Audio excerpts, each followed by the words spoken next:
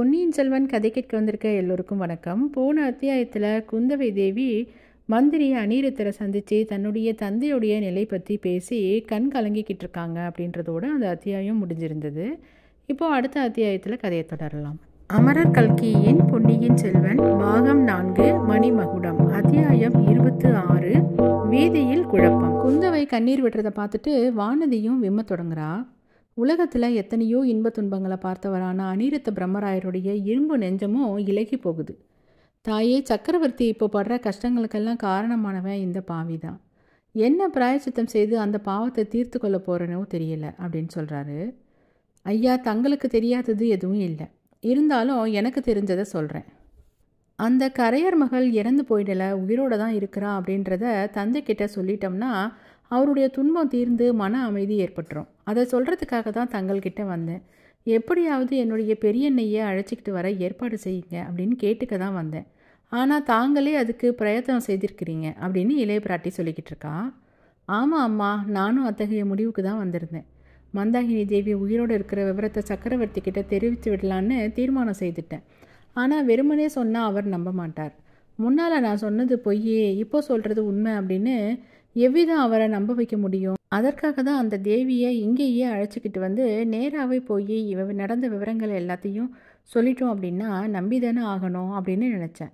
அதுக்காக தான் முக்கியமாக நான் இலங்கை தீவுக்கும் போயிருந்தேன். ஆனால் தங்கள் தம்பியோடும் பெரிய வேளாளரோடும் சேர்ந்து சதி செய்வதற்காகத்தான் நான் ஈழ நாட்டுக்கு போனேன் அப்படின்னு பழுவேட்டரையர்கள் சக்கரவர்த்தி கிட்ட சொல்லியிருக்கிறாங்க.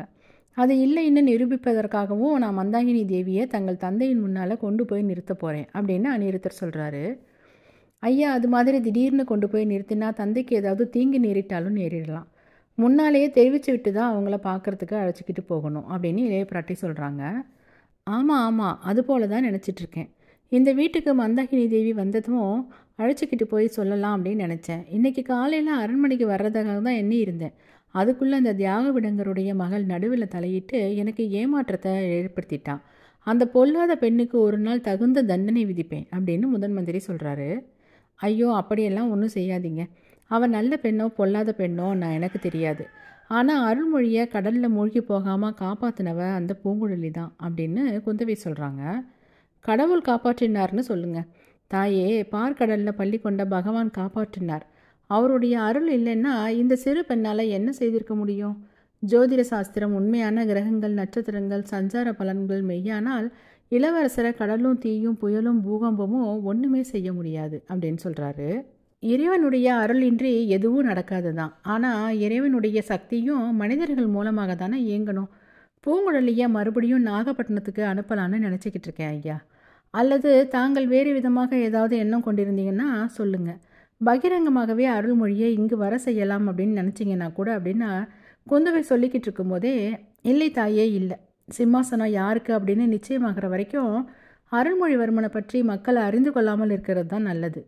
தங்கள் தந்தையை இன்னைக்கு முடிவாக கேட்டுடலான்னு நினச்சிக்கிட்டு இருக்கேன். மதுராந்தகருக்கு பட்டம் கட்டுவதாக இருந்தால் தங்கள் தம்பியை மறுபடியும் ஈழ நாட்டுக்கு அனுப்பிடுறது தான் நல்லது. அருள்மொழிவர்மர் இங்கு இருக்கும்போது மதுராந்தகருக்கு மகுடம் சுட்ட சோழ நாட்டு மக்கள் ஒரு நாளும் உடன்பட மாட்டாங்க.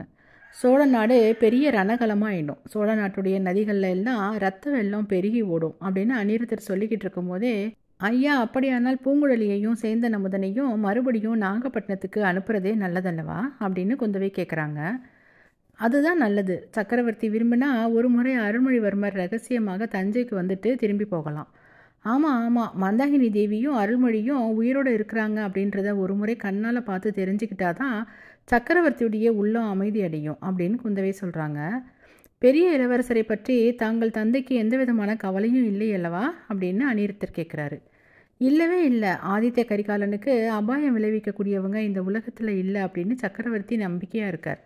தாங்கள் என்ன நினைக்கிறீங்க ஐயா? அப்படின்னு குந்தவை கேட்குறாங்க எனக்கு என்னமோ அவ்வளவு நம்பிக்கை இல்லை. போர்க்களத்தில் பெரிய இளவரசர் அசகாய சூரர் தான் ஆனால் மற்ற இடங்களில் அவரை ஏமாற்றுறதும் வஞ்சிப்பதும் கஷ்டமல்ல. பழுவேட்டரையர்கள் அவரை விரோதிக்கிறாங்க.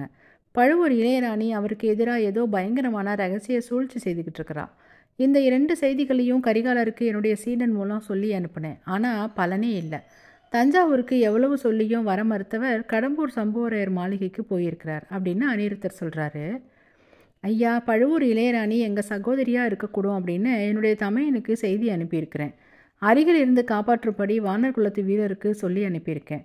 ஆகா வல்லவரையர் மட்டும் இப்போது இங்கே இருந்திருந்தா நாகப்பட்டினத்துக்கு அனுப்பியிருக்கலாம் அப்படின்னு குந்தவை சொல்கிறாங்க அந்த பிள்ளை ஏதாவது சங்கடத்தில் அகப்பட்டு கொள்ளாமல் இருப்பதற்கு நானும் என்னுடைய சீடனை அனுப்பியிருப்பேன்.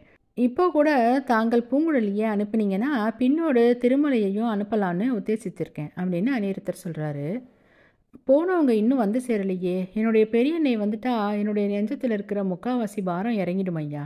அவர் வந்த உடனேயே தாங்கள் என் தந்தையை சந்தித்து சொல்லிடுவீங்க இல்லையா?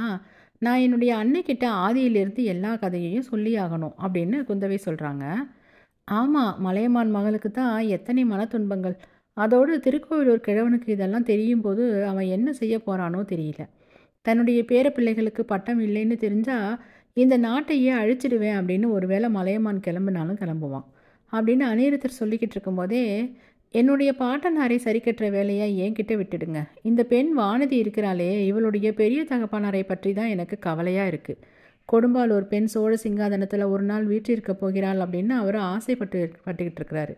இந்த பெண்ணுடைய மனதில் கூட அந்த ஆசை இருக்குது அப்படின்னு குந்தவி சொல்லிக்கிட்டு இருக்கும்போதே வானதி இப்போது குறுக்கிட்டு ஆத்திரம் நிறந்த குரலில் அக்கா அப்படின்னு கத்துறா. அந்த சமயத்தில் வானதி மேலே பேசுவதற்குள்ளார பூங்குழலி உள்ளே வர்றா. அவள் தனியாக வர்றதை பார்த்து மூணு பேரும் துணி போட்டு போகிறாங்க கரையர் மகளே உன்னுடைய அத்தை எங்கே? திருமலை எங்கே?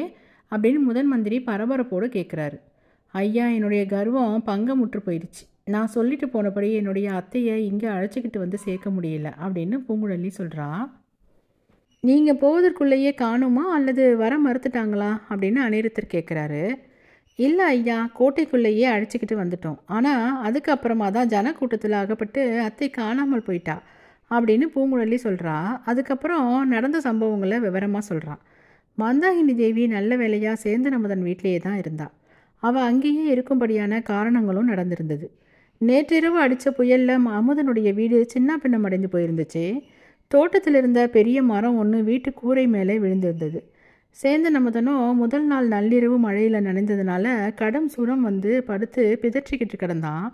இரண்டு சகோதரிகளும் விழுந்த மரங்களை அகற்றி வீட்டை சரிப்படுத்துகிற முயற்சியில் ஈடுபட்டுக்கிட்டு இருந்தாங்க. பூங்குழலியை பார்த்த உடனே மந்தாகினி மகிழ்ச்சி அடைகிறா திருமலையை கண்டு கொஞ்சம் தயங்குறா. அவன் நம்மை சேர்ந்தவன் தான் அப்படின்னு பூங்குழலி சொன்னதுக்கப்புறம் கொஞ்சம் தைரியம் அடைகிறா வழியில் பூங்குழலியும் திருமலையும் ஊமை ராணிக்கிட்ட என்ன சொல்கிறது எப்படி சொன்னால் அவள் தயங்காமல் நம்ம கூட வருவா. அப்படின்னு ஒரு மாதிரி பேசி முடிவு செய்திருந்தாங்க.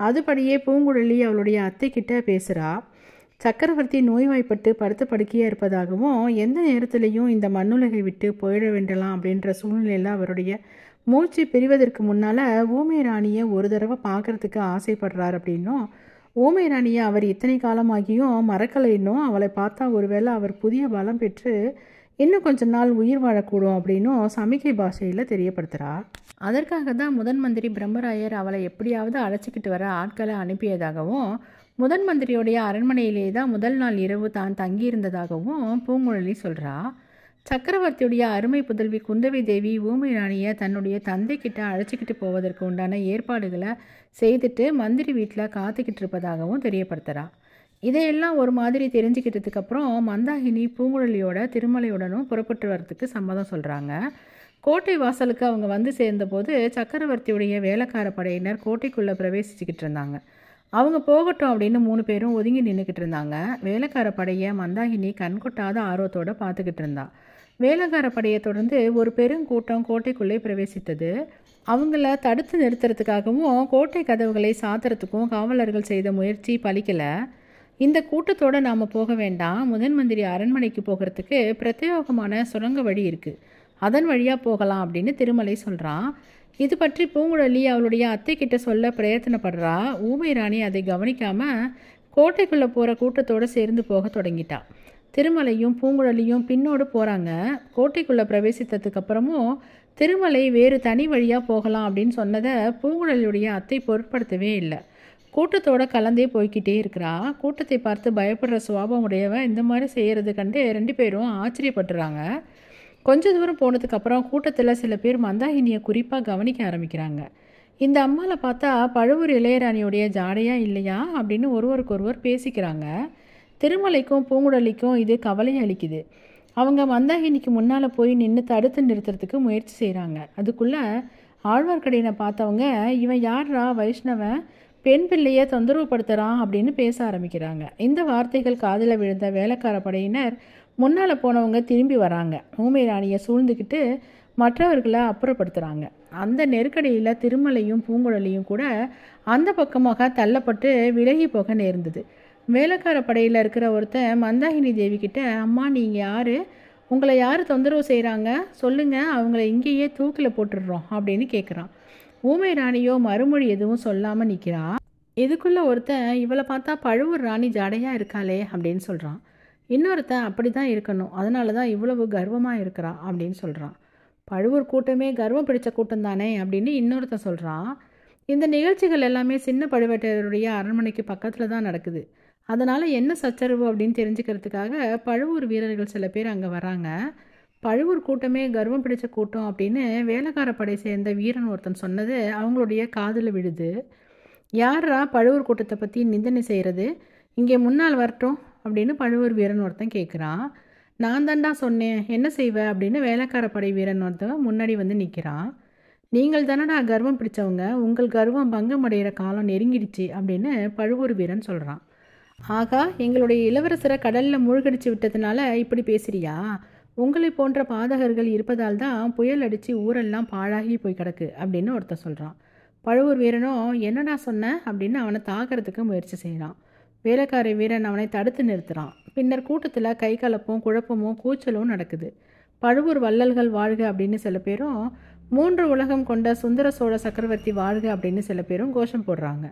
கொடும்பாலூர் வேளாளர் வாழ்க திருக்கோவிலூர் மலையமான் வாழ்க அப்படின்ற குரல்களும் கேட்குது அந்த சமயத்தில் சின்ன பழுவட்டரையரே குதிரை மீது ஆரோகணித்து அங்கே வந்து சேர்ந்துடுறாரு. அவரை பார்த்த உடனேயே சண்டை நின்று போயிடுது. ஜனங்களும் கலைந்து நாலாபுறமும் சிதறி ஓடுறாங்க. வேலைக்கார படையினர் முன்னால் போயிட்டு இருக்காங்க பழுவூர் வீரர்கள் காலாந்தக கண்டரை சூழ்ந்து கொண்டு நடந்ததை தெரிவிக்கிறாங்க. பூங்குழலியும் ஆழ்வார்க்கடியனும் வீதி ஓரத்தில் ஒதுங்கி நிற்கிறாங்க சுற்றும் முற்றும் கூர்ந்து கவனிக்கிறாங்க. மந்தாகினியை காணவே இல்லை. ஐயோ இது என்ன இப்படி நடந்துருச்சே? தலைநகரில் அரசாட்சி அழகாக நடக்குது. அத்தையை எப்படி கண்டுபிடிக்கிறது? ஏதாவது கெடுதல் நேர்ந்திருக்குமோ?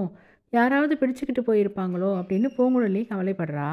காலந்தக கண்டரும் பழுவூர் வீரர்களும் போனதுக்கப்புறம் நாலாபுரமும் தேடி பார்க்குறாங்க. மந்தகினியை காணவே காணும்.